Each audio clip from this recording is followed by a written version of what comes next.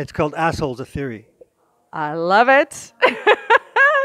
How did you uh, come up with this one? Uh, it's based on a book, Assholes, a Theory by Aaron James. It was a New York Times bestseller. Okay.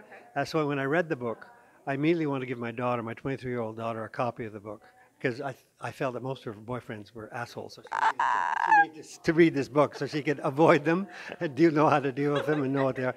Uh, but then my second thought was uh, to call Aaron James. Say, I think this would make a great film. It's a very prescient subject matter. He's a moral philosopher at a time when our moral compasses are spinning out of control.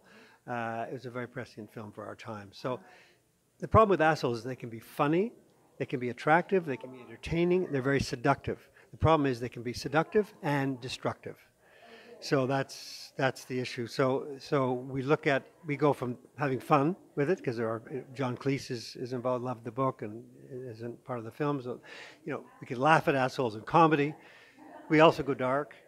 The, the impact of what an asshole can have on the individual, on institutions, and ultimately on a country. God help you if you elect an asshole to run your country. Yeah. Uh, but then there's a solution. So that the third act is a very positive. There's a no asshole rule that can apply to institutions or individuals.